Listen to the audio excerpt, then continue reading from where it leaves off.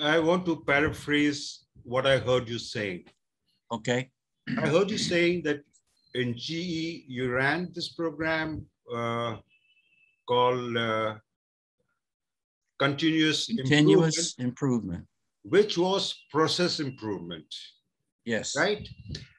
But it did not have a subtitle or it did not have a tag of lean management system or it did not have a tag of Toyota production system. It only Right. emphasized on process improvement using data or whatever it is. But Yes.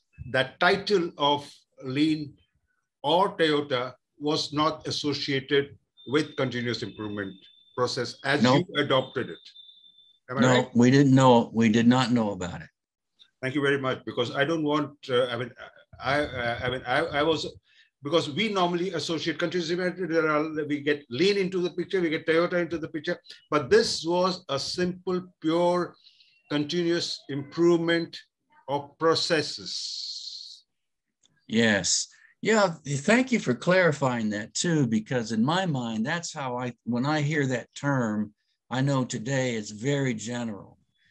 But in my early days, it was a very specific um, effort program, if you wish, uh, to improve operations. It was process improvement. Yep. Very simple. And I love it. Uh, it ought to be done today. So it's good. All right. so as I was saying, we were talking about sustaining it. We had the organization infrastructure all set up to do that.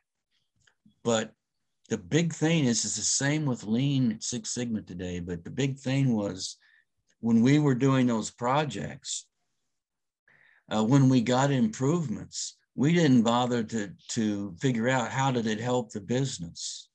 And you know, usually that's going to be in terms of finances. Ultimately, that's in terms of finances, and we didn't do anything with that.